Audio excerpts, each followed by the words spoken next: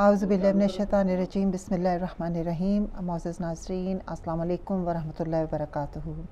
آپ کی میزبان نبیلہ علی پروگرام مشل راہ کے ساتھ حاضر خدمت ہے۔ آج کا بہت ہی ببرکت اور مبارک دن ہے، جمعہ کا روز ہے اور ہمارے تیسرے امام، حضرت امام حسین علیہ السلام کی ولادت پاس عادت کا دن بھی ہے۔ تو ہم آپ سب کو اس بابرکت دن کی مبارکباد پیش کرتے ہیں۔ آئیے ہم آپ سب مل کے اسی مبارکباد کو اسی تبریک کو اپنے چوتھا معصومین اور خصوصاً خصوصاً اپنے وقت کے امام کی خدمت میں پیش کریں۔ اللہم صلی علی محمد و آل محمد و اجل فرجہم۔ سینے میں ہے دل دل میں حسین ابن علی ہے۔ شابان میں یہ خوشیوں کی بارات چلی ہے۔ زہرا کے گھرانے کی خوشی سب کو مبارک۔ یہ عید جو ہے سب سے بڑی، سب کو مبارک۔ اللہ و نبی و ولی سب کو مبارک۔ شابان کی توقیر حسین ابن علی ہے، توحید کی تعبیر حسین ابن علی ہے۔ اسلام کی تعمیر حسین ابن علی ہے۔ اے حر تیری تقدیر حسین ابن علی ہے۔ قرآن جو پڑھتا ہے وہ تسبیح ہے۔ قرآن جو پڑھتا ہے وہ تسبیح ہے۔ سینے میں ہے دل دل میں حسین ابن علی ہے۔ صورت میں، شباہت میں علی ہے گل تر۔ سیرت، صورت میں، شباہت میں علی ہے گل تر۔ سیرت کی گر، سیرت کو گر دیکھو تو ہے یہ پیمبر کیا نام و نصب میں ہے کوئی اس کے برابر؟ دہر، دھرتی پہ اتر آیا ہے اللہ کا مصر توحید کے ماتھے پہ عبارت یہ لکھی ہے سینے میں ہے دل دل میں حسین ابن علی ہے۔ پیمان وفا لایا ہے رحمان سے پوچھو کیا اس کی ہے فضیلت؟ شعبان سے پوچھو۔ مالک ہے شفاعت کا قرآن سے پوچھو۔ پس ہم ہی نہیں سورہ فرقان سے پوچھو۔ کیوں سورہ فرقان کی تفسیر ہوئی ہے؟ سینے میں ہے دل دل میں حسین ابن علی ہے۔ شابان میں اس گھر میں چراغ اور بھی جلیں گے۔ شابان میں اس گھر میں چراغ چراغ اور بھی جلیں گے۔ کچھ نور ہیں جو جسم کے سانچے میں ڈھلیں گے۔ ہمراہ یہی نور شاہ دین کے چلیں گے۔ جتنے بھی چراغ آئیں گے یہ کہتے ہیں کہ ہم ملیں گے۔ اس بات سے شبان کی توقیر بڑی ہے۔ سینے میں ہے دل دل میں حسین ابن علی ہے۔ اللہم صلی علی محمد و آل محمد و عجل فرجہم۔ ناظرین، جیسے کہ آپ جانتے ہیں کہ ماہ شبان وہ مہینہ ہے جو کہ رسول خدا صلی اللہ علیہ وسلم سے منسوب کیا گیا ہے۔ اللہ سبحانہ تعالیٰ نے اس ماہ کا نام شبان اس لیے رکھا ہے کہ اس میں نیکیاں عام کر دی گئی ہیں، حسنات کے دروازے کھول دیے گئے ہیں۔ جہنت کے محلات بہت ہی کم تر عمال سے حاصل ہوتے ہیں۔ آئیں ہم سب اسی ماہ کو عبادت میں گزاریں اور ان محلات کو خرید لیں۔ رسول خدا نے فرمایا کہ جب شادوان کا مہینہ آتا ہے تو بہش کے دروازے کھول دیے جاتے ہیں۔ شجرہ طوبہ سے کو حکم ہوتا ہے کہ اپنی شاخوں کو پھیلا دیا جائے اور زمین سے قریب تر کر دیا جائے اور خدا کا ایک منادی ندا دیتا ہے کہ اے نیک کار لوگو، اے پاکیزہ لوگو، اے مومنو، خود کو شجر طوبہ سے منسلک کر لو۔ اس کی چھاخوں کو تھام لو۔ اور تاکہ تم جنت کی طرف تاکہ جنت تمہاری ہو جائے اور خیال رہے۔ بس ہمیں ڈر کے رہنا چاہیے کہ اس کے ساتھ ساتھ شجرہ زکوم کی شاخیں بھی زمین پر لٹک رہی ہوتی ہیں۔ کہیں یہ نہ ہو کہ ہم میں سے کوئی اسے تھام لے، ہماری ہماری بے رخی یا ہماری گناہ کی وجہ سے کہیں یہ نہ ہو کہ ہم ان شاخوں کے ساتھ لپٹ جائیں۔ اور بس یہی ہمیں خیال کرنا ہے اور کوشش کرنی ہے کہ اس ماہ کو جتنا بھی عبادت میں گزاریں، اس طرح سے عبادت میں گزاریں جیسا کہ ہمیں گزارنا چاہیے، تاکہ ہم سب شجر طوبہ کے شاخوں کے ساتھ لپٹ جائیں۔ آج ناظرین ان شاء اللہ تعالیٰ ہم ماہ شب شبان کی فضیلت پہ گفتگو کریں گے۔ کچھ اعمال جو کہ مخصوص اعمال ہیں اس ایام کے، اس پہ بھی روشنی ڈالنے کی کوشش کریں گے تاکہ ہم سمجھیں کہ ان کی کیا فضیلت ہے، تاکہ پھر ہم صحیح معنوں میں اس کی معرفت کو، ماہ کی ماہ شبان کی معرفت کو حاصل کر سکیں اور صحیح طرح سے ہماری عبادت جو ہے وہ ہو سکے۔ آئیے میں آپ کا تعارف کراؤں۔ میرے ساتھ موجود ہیں محترمہ سیدہ فرت حسین صاحبہ۔ السلام علیکم ورحمۃ اللہ وبرکاتہ۔ علیکم السلام ورحمۃ اللہ وبرکاتہ۔ آپ کو بھی بالکل الحمدللہ بخیریت ہوں۔ آج کے دن کی بہت بہت مبارکباد پیش کرتی ہوں۔ اور سب سے پہلے تو میں چاہوں گی کہ اگر آپ ماہ شبان کی فضیلت پہ روشنی ڈالیں تاکہ ہم تھوڑا سا اس کی فضیلت سے واقف ہوں کہ یہ کتنا ببرکت اور مبارک مہینہ ہے۔ جی بے شک نبیلہ بہن جیسے بھی آپ نے اپنے پروگرام کی ابتدا میں ماہ شبان کے حوالے سے جو بیداری احساس بیداری پیدا کیا ہے کہ اس میں کوئی شک نہیں ہے کہ اللہ سبحانہ و تعالیٰ وہ رحمان و رحیم جو قدم قدم پر ہمارے لیے وہ سہولتیں فراہم فرما رہا ہے کہ جس سے ہم اپنے اندر نیکیاں جو ہے اس میں اضافہ کر لیں اور اپنے آپ کو اللہ تعالیٰ کی نافرمانی سے بچا سکیں تو اس میں یہ بہت ہی مہم اور اہم مہینہ ہے۔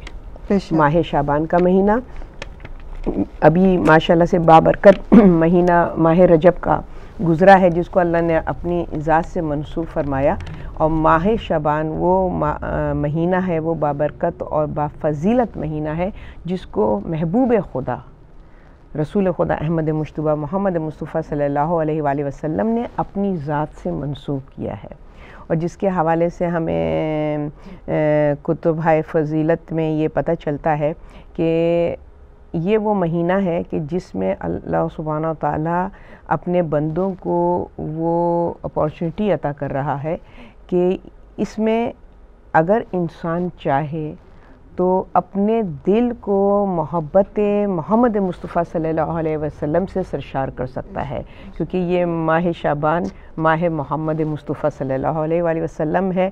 اور جب ظاہر ہے کہ جس کے قلب میں جس کے دل میں اس حبیب خدا کی محبت سما جائے۔ رسول صلی اللہ علیہ وسلم کی محبت سے اس کا دل پر نور ہو جائے تو ممکن ہی نہیں ہے کہ وہ فرد یا وہ بندہ یا وہ رسول کی رسول کا امتی کو اللہ سبحانہ و تعالیٰ کا قرب حاصل نہ ہو۔ ظاہر ہے کہ جس کے دل میں رسول کی محبت ہوگی وہ خود بخود قرب الہی سے پا سکے گا اللہ کا قرب حاصل کر لے گا۔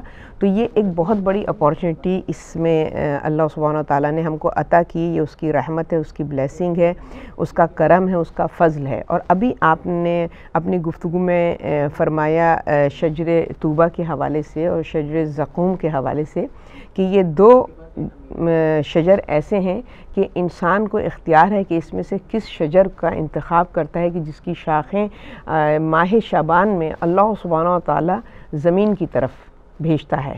اب یہ انسان کی اپنی معرفت اور اپنی، اپنے رسول سے محبت اور ان کے دین پر ان کی اتباع کے ساتھ عمل پیرا ہونے والے افراد جو ہیں، وہ جان جاتے ہیں اور قدر کرتے ہیں کہ شجر طوبہ کو۔ تھام لیں اس ماہ کی اس برکت سے استفادہ حاصل کریں اور اس کی شاخوں کو تھام لیں اور وہ شاخیں کہ جو انسان کو جنت کی طرف لے کر جاتی ہیں۔ اور جیسے کہ ابھی آپ نے بہت بجا فرمایا کہ یہ ماہ شعبان کی فضیلوں فضیلتوں میں سے ایک اہم ترین فضیلت یہ ہے کہ اس میں قلیل عمل بھی کثیر ہو جاتا ہے۔ اس حد تک ہو جاتا ہے کہ مثال اس طریقے سے دی جاتی ہے کہ اگر آپ اس ماہ شابان میں ایک پینی صدقہ بھی دیتی ہیں، تو وہ اللہ سبحانہ و تعالیٰ اس میں وہ ایک دفعہ کا دیا ہوا عمل اس میں اتنی زیادہ اضافہ کرتا ہے کہ کوہ عہد کی طرح۔ اس کی وہ ایک نیکی جو ہے وہ اتنی کثیر ہو جاتی ہے۔ تو کتنی بڑی اپورچنٹی اور ہم لوگوں کو موقع اللہ فراہم کر رہا ہے، ہماری بدنصیبی ہے کہ اگر ہم اس ماہ شابان کی فضیلتوں کو درک نہ کریں۔ اور اس میں جو اللہ سبحانہ و تعالیٰ اپنی رحمت، محبت رسول خدا صلی اللہ علیہ وسلم میں کے ذریعے سے ہم پر عطا فرما رہا ہے، اللہ ہمیں توفیق دے کہ ہم اس سے استفادہ حاصل کریں۔ بے شک بہت خوب۔ ایک اعمال کا جیسے ہم ذکر کریں کہ بہت سے اعمال جو ہیں وہ ریکمینڈڈ اعمال ہیں اس جی۔ میں کرنے کے لیے۔ اور ظاہر ہے جس کی جتنی بھی توفیق ہے وہ اس حوالے سے وہ نمال کو انجام دے۔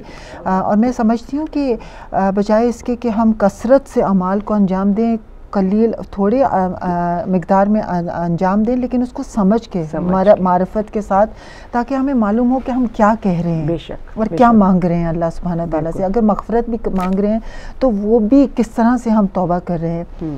تو توبہ کا جیسے ذکر آیا تو ہم دیکھتے ہیں کہ دو طرح سے اللہ سبحانہ تعالیٰ نے ہمیں استغفار کرنے کے طریقے بتائے۔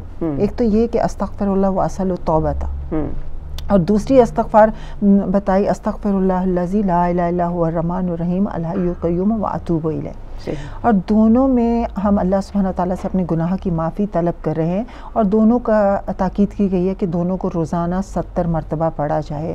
تو کیوں دو مختلف قسم کی استغفار ہمارے لیے بتائی تعلیم کی گئی ہیں؟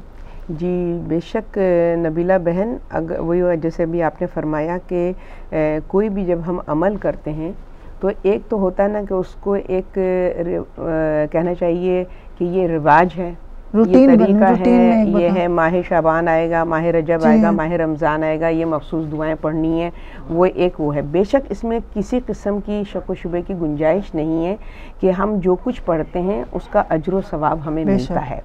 ثواب میں کوئی کمی نہیں ہے مگر اس کے پڑھنے سے جو ہمارے کردار میں تبدیلی آنی چاہیے وہ اس وقت تک ممکن نہیں ہے جب تک کہ ہمیں اس کی سمجھ نہ ہو اس کی معرفت نہ ہو۔ یعنی ہم جو بھی دعائیں پڑھتے ہیں بے شک اللہ اس کا ہمیں ثواب دیتا ہے ہمارے اعمال نامے میں وہ نیکی لکھ دی جاتی ہے۔ مگر اس کا جو صحیح معنی میں جو ہمیں تعلیم فرمایا اہل بیت اتھار نے مقصد یہ اصلاح ہے۔ کردار کی۔ اپنے اندر جو ہے وہ بہتری کی طرف خوبی کی طرف اپنے اندر تبدیلی پیدا کریں دین زندہ قومیں جو جن کا روز ایک جیسا نہیں ہونا چاہیے۔ اگر ایک جیسا روز ہے تو وہ پھر مردہ قوم ہے۔ زندہ قوم وہ کہلاتی ہے کہ جس کے اندر تغیر و تبدل پیدا ہو جس کے اندر روز اس کا ہر روز ایک نیا دن ایک نئی امید اور ایک نئے یقین اور ایمان کے ساتھ اس میں اضافہ ہونا چاہیے۔ آنے والا دن پچھلے دن سے بہتر بہتر ہونا چاہیے۔ تو بالکل اس میں کوئی شک نہیں ہے کہ اب اس میں ہم اگر غور کریں کہ کیا اس میں راز و رموز ہے کہ ائمہ نے ہم کو یہ دعائیں تعلیم فرمائی ہیں یہ تسبیح یہ ورد ہمیں تعلیم فرمایا ہے کہ استغفر اللہ و اسلح توبہ ہے نا؟ اب اس میں سوچنے کی بات ہے کہ استغفر اللہ یعنی کیا انسان جو ہے وہ اللہ سبحانہ و تعالیٰ سے اپنے گناہوں کا استغفار کر رہا ہے اب اللہ سے اپنے گناہوں کی معافی چاہ رہا ہے۔ اور پھر اس کے بعد وہ کیا کہتا ہے وہ اصل توبہ کہ اے اللہ میں سوال کرتا ہوں تو مجھے معاف کر دے۔ ٹھیک ہے نا؟ تو جب مطلب ہم توبہ کی توفیق مانگ رہے ہیں۔ توفیق مانگ رہا ہے۔ اس میں جو ہے نا وہ یہ مطلب کہ اس کو یہ ہے کہ ہم نے جو ہے وہ گناہ کیے ہیں اور ہمیں اللہ سبحانہ و تعالیٰ ہمارے گناہوں کو معاف کر دے۔ میں سوال کر رہا ہوں کہ تو میرے گناہوں کو معاف کر دے۔ اب یہ جو کلمات ہیں اب اب دیکھیے ہماری ایک روٹین میں بھی یہ ایک ہے ہے نا؟ کہ استغفر اللہ جہاں بھی ہم کوئی غلط کام سنتے یا کرتے ہیں تو ہم سمجھتے ہیں کہ جملہ استغفر اللہ کہہ دینا کافی وہ کافی ہے وہ اس گناہ کو ہمارے دھو دے گا۔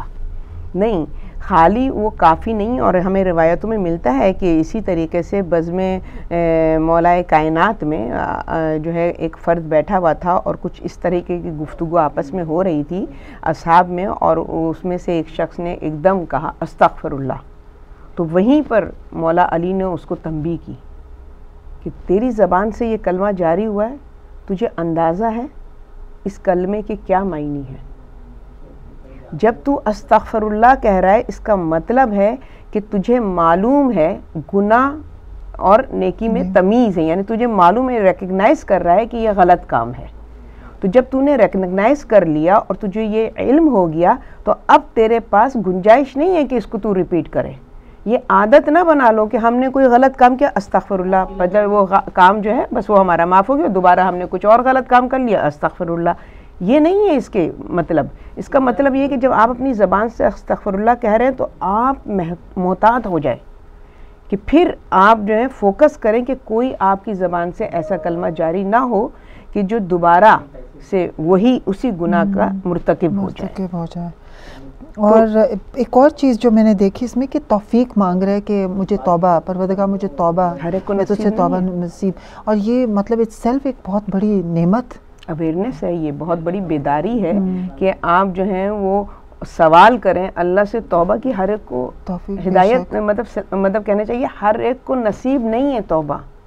اور جب جیسے ابھی آپ نے فرمایا کہ واقعی ہمیں اس کا معنی جو ہے وہ درک کرنا چاہیے کیونکہ پھر ہمارے دل سے نکلے گا۔ اور پھر جب دل سے نکلے گا سوچ کے سمجھ کے جب ہم توبہ کریں گے تو واقعی میں ہم دوبارہ اس کام سے اجتناب کریں گے۔ بالکل بالکل۔ اور اگر ہم روٹین میں پڑھتے رہیں گے تو ہم نے جیسے ابھی آپ نے ذکر کیا کہ ایک دفعہ توبہ کر دی کسی چیز کو دیکھا تو ہم ایک معمول ایک روٹین میں ہم جی۔ استغفر اللہ کر رہے ہیں۔ تو میں ناظرین یہ بہت ہی میں سمجھتی ہوں کہ ہمارے لیے ایک بڑا اہم نقطہ ہے جس پہ ہم سب کو غور کرنا ہے۔ ایک ماہ ایک ماہ شبان کا آغاز ہوا ہے ابھی اور پورا مہینہ ہمارے پاس ہے اور ہمیں ایک اپرچونٹی مل رہی ہے۔ اللہ سبحانہ تعالیٰ نے ہمیں یہ توفیق دی ہے کہ ہمیں یہ تمام جو استغفار کریں یا صلوات پڑھیں، ان تمام دعاؤں کا ورد کریں۔ تو جیسے کہ محترمہ فرض صاحبہ نے کہا کہ ہمیں اس کو درک کرنا ہے اور ہمیں سوچ کر، سمجھ کر کہ اگر میں نے معافی مانگ لی اللہ سبحانہ تعالیٰ سے اور میں اس کام کو پھر دوبارہ نہ کروں۔ کیونکہ اگر میں خدا نہ کرے اس کام کو کروں گا تو میرے جو پچھلے گناہ ہیں وہ بھی شاید میرے معاف نہ ہوں۔ کیونکہ۔ یہ تو ایک قسم کا مذاق ہو گیا نا کہ آپ نے توبہ کی اور پھر سے جا کے وہی گناہ۔ یہ اور آپ کے مطلب کہ نافرمانی میں ایک طرح سے اضافہ ہو جاتا ہے کہ آپ کو ہر چیز کا پتہ ہے۔ علم ہے یہ نہیں لا علمی میں آپ سے کوئی کوتاہی ہو گئی ہے۔ علم رکھتے ہوئے اور آپ دوبارہ سے وہ بار بار غلطی اگر آپ ریپیٹ کر رہے ہیں تو اس کا مطلب ہے آپ نے اس علم سے استفادہ حاصل نہیں کیا۔ بہت خوبصورت پوائنٹ آپ کا. آئی تھنک ہم اس پوائنٹ کو لے کر چلیں تو انشاءاللہ ہم سب بہت مستفید ہوں گے۔ اور انشاءاللہ تعالیٰ اور اس کے ساتھ ہی جو دوسری استغفار ہے میں چاہوں گی تھوڑی سی اگر آپ اس پہ بھی روشنی جی فرمائیے. اس کے حوالے سے جیسے استغفر اللہ الذی لا الہ الا هو الرحمن الرحیم الحی القیوم واتوب الیہ۔ واتوب الیہ. یہ جو کلمات ہیں اب اس کے ایک ایک جملے پر اگر ہم غور کریں تو جب زبان سے ہم کہہ رہے ہیں اب استغفر اللہ وہاں پہ بھی ہے استغفر اللہ۔ یہاں پر بھی ہے۔ مگر یہاں پر الذی کے ساتھ ہے استغفر اللہ الذی اب یہاں پر یہ جو لدی کا جملہ ایڈ ہوا ہے اس کا مطلب ہے ہم ایڈمٹ کر رہے ہیں اپنے گناہوں کہ ہم نے جو کچھ گناہ کیے ہیں۔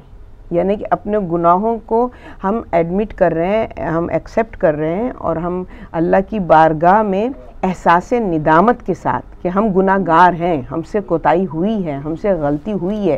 یعنی جتنے بھی میں نے گناہ کیے ہیں، جب آپ لفظ یہ جملہ استعمال کرتے ہیں استغفر اللہ الذی، کہ جتنے بھی میری ذات سے گناہ سرزد ہوئے ہیں، تو اس کا کیا مطلب ہے؟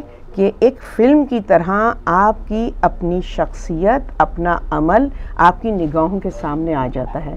نبیلہ بہن اگر ہمارا کردار اور ہمارا عمل ہماری نگاہوں کے سامنے آ جائے تو انسان کی فطرت کیا ہے؟ انسان نیکیاں یاد رکھتا ہے۔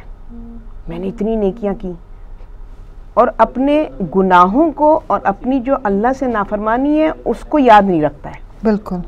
یہ دعا معصومین نے جو تعلیم فرمائی ہے یہ ہماری اس فکر کو ایک طرح سے اس کی تربیت ہو رہی ہے کہ انسان ہمیشہ جو کام کرتا ہے نیکی کرتا ہے تو اس کو اتنا مطلب کہ سمجھتا ہے کہ وہ بہت ہی کثیر ہے بہت اضافہ ہے مطلب کہ ہم نے بہت زیادہ نیکی کی ہے۔ اور جو گناہ کرتا ہے شدید گناہ کرے گا زیادہ گناہ کرے گا مگر اس کی نگاہ میں وہ گناہ بہت ہی قلیل ہوں گے۔ گناہوں کو اپنے بھول جاتا ہے نیکیوں کو یاد کرتا ہے۔ یہاں پر ایک چھوٹی سی بریک کی طرف جی چلتے ہیں اور ناظرین انشاءاللہ جی ہمارے ساتھ رہیے گا۔ ایک چھوٹی سی بریک کی طرف چلتے ہیں اور انشاءاللہ جہاں سے اپنے اپنی گفتگو کا سلسلہ منقطع کیا تھا انشاءاللہ وہاں سے اس کو کنٹینیو کریں گے۔ ملتے ہیں بریک کے بعد۔